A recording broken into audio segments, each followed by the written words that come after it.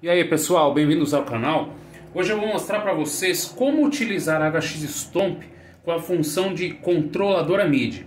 Então se você está aí pensando se vai adquirir uma controla MIDI, muitas das vezes a própria HX Stomp pode cumprir essa função, né, dependendo do som que você vai fazer. Essa função serve para todos os pedais, né, para a maioria deles na verdade, é, para o Big Sky, para o Timeline, toda essa linha Strymon, é, acredito que todo, todos os pedais que tenham função MIDI você vai conseguir fazer isso. Aqui eu estou fazendo uma reformulação do meu pedalboard, por isso que está um pouco bagunçado esses cabos. E até peço para você seguir o canal, porque vão vir novidades aí ao longo do tempo. Para esta ligação eu utilizei um cabo MIDI-MIDI da HX Stomp Collider, né, 5 pilhas. Esse aqui tem 60 centímetros. E do Collider pro Bloom, eu utilizei um MID P10 TRS. Eu tinha testado um outro cabo desse e acabou não funcionando. Não sei se é o tipo de ligação, esquema de ligação, mas é interessante antes de adquirir testar. É, Para os pedais da Strymon, aquele Riverside, Sunset, é, também utiliza esse para os pedais Boss, geralmente está utilizando o P2. Então da HX Stomp, ele vem e entra no mid in. Ele vem aqui do mid true. Alguns pedais têm um mid out. E aí ele conecta na entrada mid do Bloom. Do Bloom ele não continuaria o sinal, então para continuar ele precisa ter o mid true ou mid out. Então aqui é o seguinte, ó. O que você vai fazer é entrar no Command Center. Aqui, ó, eu estou utilizando por snapshot, mas você pode utilizar de diversas maneiras, né? Diversas funções. Eu vou mostrar para vocês por snapshots. Então aqui na HX Stomp, você vai apertar esses dois botões juntos e aí você vai vir para o Command Center e aqui você vai clicar. Cada um desses raios que estão aparecendo aqui você vai conseguir endereçar um comando, né, girando esse knob e aqui no Switch Switch também. Você tem que ver no manual do seu pedal qual é a função MIDI que ele exerce. Por exemplo, no caso do Collider aqui da Source Audio, ele é o canal 1. Aqui no caso do Bloom, ele também é o canal 1. Só que quando você é, liga o Bloom, você tem a opção de trocar os canais, deixando ele do 1 ao 16. Então aqui é o seguinte, ó. Você escolheu esse raiozinho aqui. O meu já está pré-programado. Mas o que, que você vai fazer? Ele vai estar tá aqui, vai estar tá. Aí você vai girar e deixar o Bank PC. Aqui em Mid Channel, eu vou deixar dois porque nesse caso eu vou estar controlando o Bloom da Jackson Audio.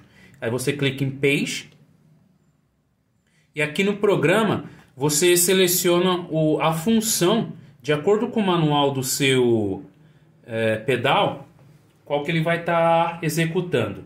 Aí você clica nesse foot switch e faz a mesma coisa. Programa tal, aqui já estava em programa, né? E aí volta, Bank PC, estaria em none, né? Back PC, Mid Channel 2. Troco foot switch. Aqui no caso, ele estaria non. Então você coloca lá Bank PC, canal 2 e o programa, sei lá, 4, 5, o que você quiser.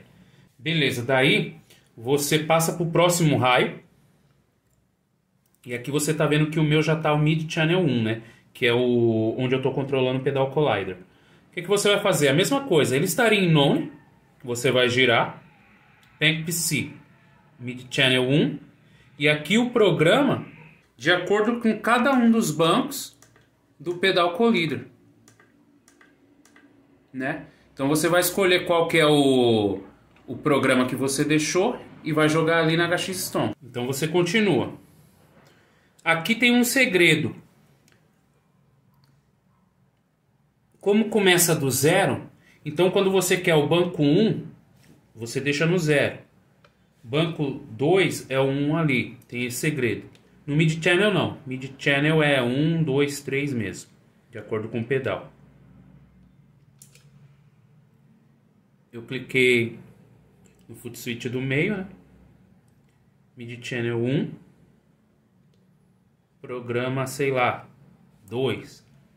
É o patch que eu deixei pré-programado, né? Novamente, clicando aqui, Bank PC, Mid Channel 1 que eu tô tratando Collider, programa, sei lá, 5. É, isso é até uma uma função legal, porque por exemplo, Collider você consegue controlar ele aqui na manual, você consegue controlar ele até o banco 4, mas com as funções MIDI você consegue acessar mais é, presets. Você consegue programar mais presets. Então, beleza. Uma vez que aqui você programou, se você tiver mais pedais, você vai endereçando. E aí, uma vez que você terminou a programação, é só você utilizar. Aqui eu estou utilizando o banco 3 e no Blue eu estou utilizando essa cor Purple. Tem review no canal de cada um desses pedais, onde eu falo especificamente de cada um. Clicando no Foot Switch 2, aqui eu fui para o banco 4 e no Bloom mudou para a cor azul. E aqui clicando no Foot Switch 3, você pode ver que no Collider eu acessei o preset 5, né? Foi o que eu comentei. Você consegue acessar demais presets além do 1, 2, 3 e 4 é, utilizando a função MIDI do Collider. E aqui no Bloom foi para a cor White. Então é possível ver que eu deixei uma função para cada pedal e aí na hora de um solo, na hora de fazer uma base, eu vou tendo aí a facilidade para trocar de preset. Seja um pedal de compressor, é, eu tô com um pedal aí de distorção que eu vou mostrar para vocês futuramente. Então vou deixar os presets salvos para poder utilizar quando eu for tocar.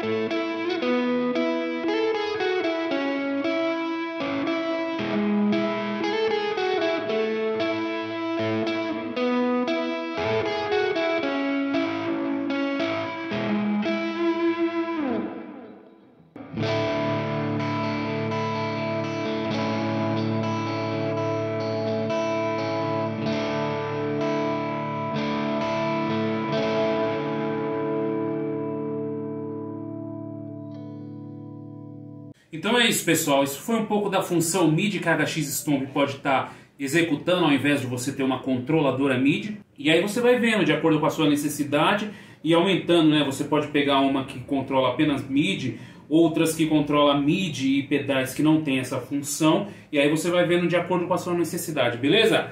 Curte o vídeo, segue o canal e até o próximo vídeo, beleza? Valeu, até mais!